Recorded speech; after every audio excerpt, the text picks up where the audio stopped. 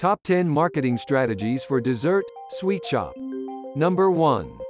Get photographs of all those delicious desserts, sweets, and candy.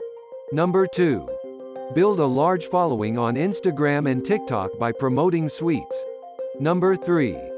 Invite influencers to your shop and collaborate with them on social media. Number 4. List your desserts on food delivery apps such as Uber Eats. Number 5.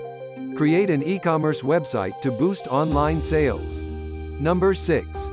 Create a product catalog for Facebook and Instagram. Number 7. List all of your products on Google Merchant and create shopping advertising.